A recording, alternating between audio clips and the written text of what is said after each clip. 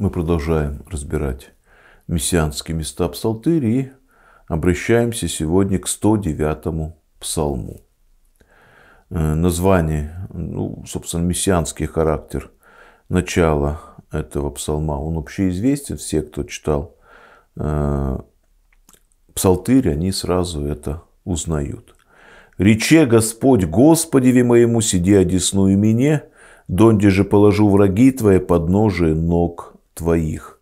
Жезл силы послайте Господь от Сиона и господствуй посреди врагов твоих. С тобою начало в день силы твоя, во светлостях святых твоих, из чрева прежде деницы родихтя. Клятся Господь и не раскается, ты, Ирей, вовек по чину Мелхиседеков. Господь одесную тебе сокрушит есть день гнева своего цари, судит во языцах, исполнит падение, сокрушит главы на земли многих, от потока на пути пиет, сего ради вознесет главу. Вот, ну, все места понятны, их может только так перечислить по-простому. Э, Рече Господь, то есть сказал Господь Господу моему, сиди одесную справа стало быть от меня, доколе я не повергну врагов твоих к подножию ног твоих. Этот, э, на этот псалом ссылается и э, Господь. Вот как же, ну, то есть очевидно, что Господа два. То есть Господь сказал Господу. И понятно, что, скажем, иудейское понимание, традиционная иудейская экзегеза, она не могла, не кривя умом, объяснить, не, не могла ответить на вопрошание ни Христа, ни апостолов, не могла ответить на вот особенность этого слова употребления – не кривя умом. Конечно, как-то мы всегда все можем объяснить, но объективно это никак. Очевидно, что Господь один, Господь другой. Вот. И здесь, в сущности, э, действительно, в некоем общем смысле, чтобы тоже важно не э, потерять за деревьями леса, э, в целом это пророчество о воцарении Христа. То есть пророчество о тех, о том явлении, которое в послании к евреям сказано, что свидетельствуется тем, что он сел одесную Бога Отца. Вот, воссел на небесах, одесную своего Отца. Э, и в целом, как мы знаем, кто читал внимательно книгу, послание к евреям, тот знает о том, как много там написано вот именно вот этом восхождении на небеса, э, обязательно с кровью, потому что он принес жертву, он истинный первосвященник и истинная жертва. Он сам заколает, он сам заколается, он сам э, заколаемый, он приносяй и приносимый. Э, он тот, кто приносит свою собственную кровь за жизнь мира и входит с этой кровью за внутреннюю завесу, вступая, возносясь на небо и э, ходатайство этой кровью перед э, Богом Отцом о том, чтобы верующие в Него не погибли, как Он об этом просит своего Отца – в так называемой первосвященческой молитве, то есть 17 главе Евангелия от Иоанна.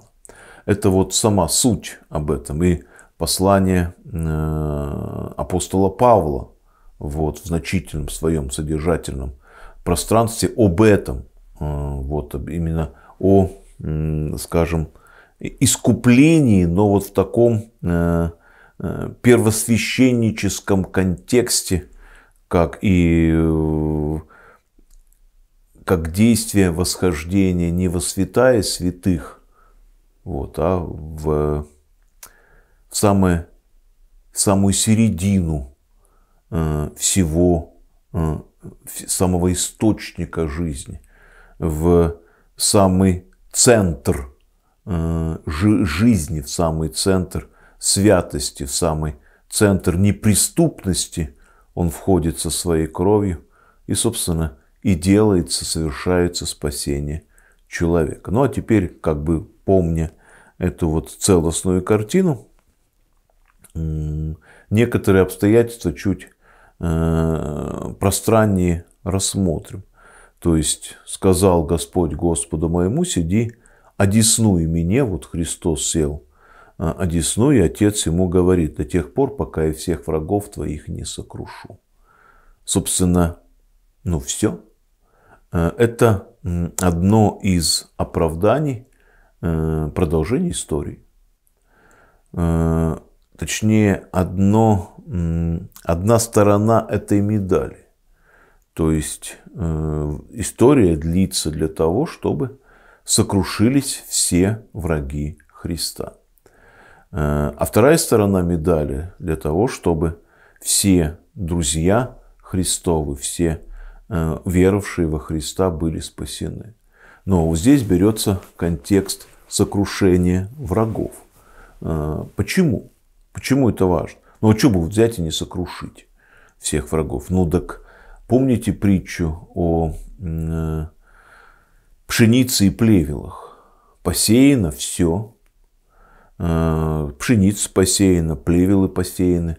Надо повыдергать бы все плевелы, Откуда ты знаешь, где плевела, где пшеница?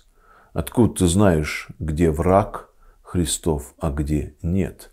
Надо, чтобы его враждебность проявилась, и надо, чтобы его сыновство проявилось. У истории есть такой э, вселенский проявитель.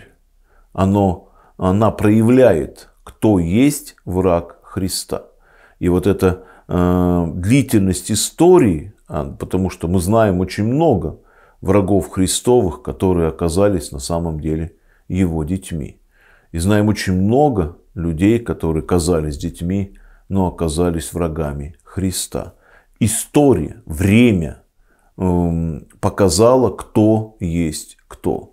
И вот Бог ждет, Он, конечно, знает, кто есть кто. Но нужно, чтобы это проявилось, потому что спасение человека возможно именно за какие-то совершенные э, дела веры или сказанные слова веры.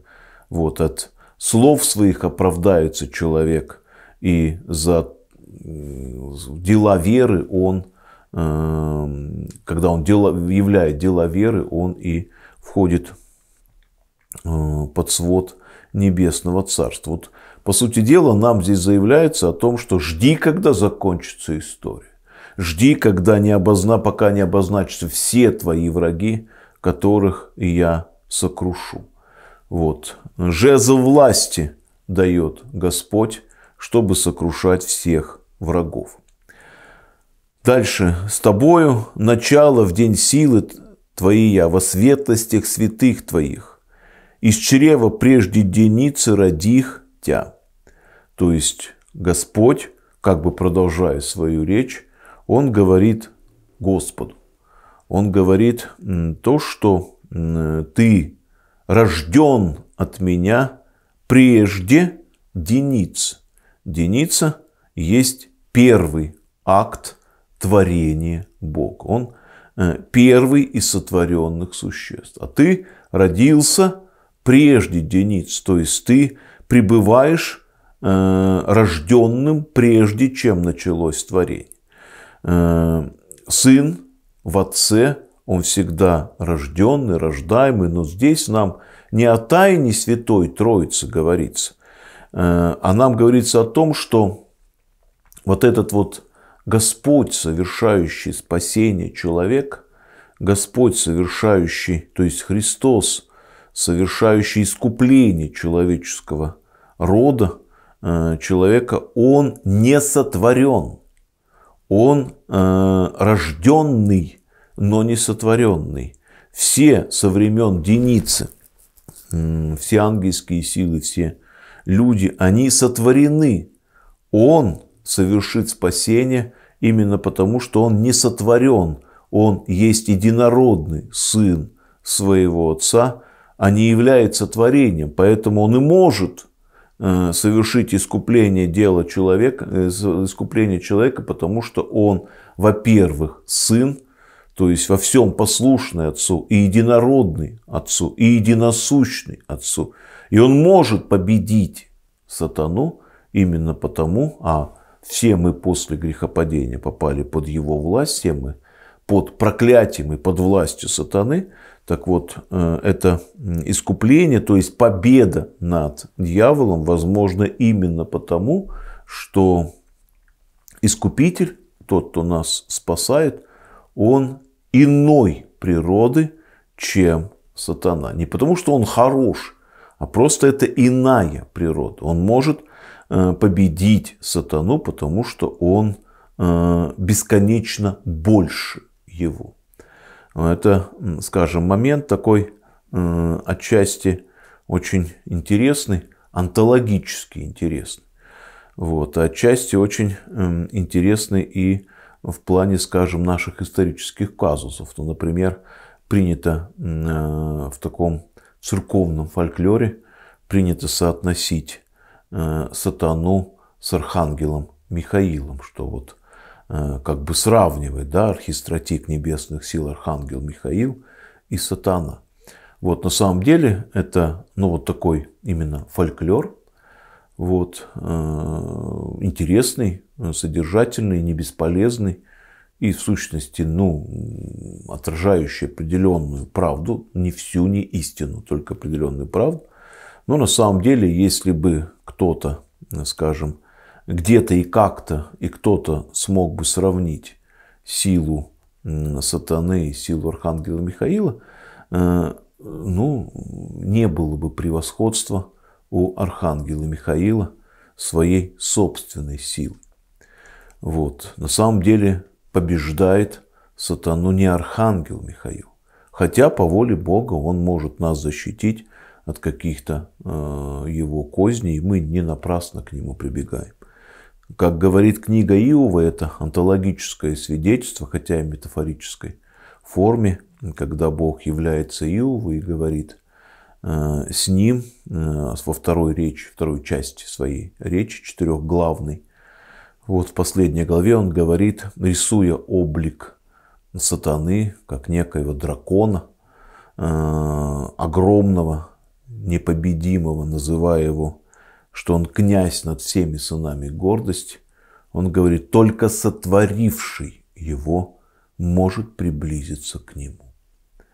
То есть победить сатану может только Творец его только тот, кто сотворил это павшее существо. Только он может его победить, больше никто, потому что это э, вершина э, творений Божьих. Это самое могущественное, самое великолепное, самое э, удивительное существо, э, потому что именно с него началось творение. Но тот, кто его сотворил, естественно, больше – Э, онтологически больше его, не, не количественно, а просто он иной, он хозяин.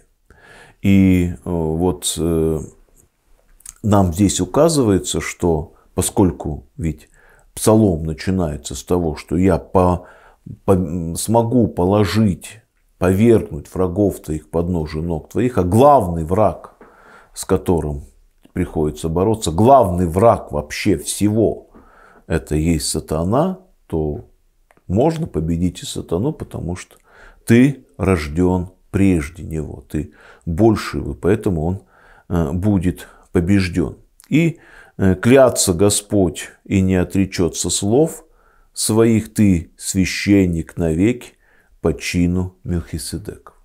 Вот как раз та тема, э, которая будет раскрываться в послании апостола Павла к евреям, где подробно будет говориться как раз о том священническом служении, которое совершит Христос. Почему по чину Милхиседекову? Потому что э, священство Аарона, оно э, особенное. Во-первых, оно немощное.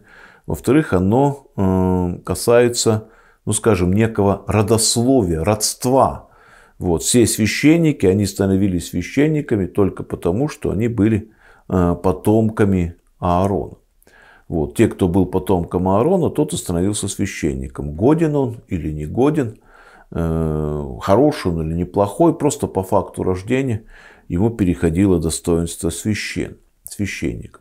Больше никаких, скажем так, достоинств у этого священника нет. Только то, что он потомок Аарон.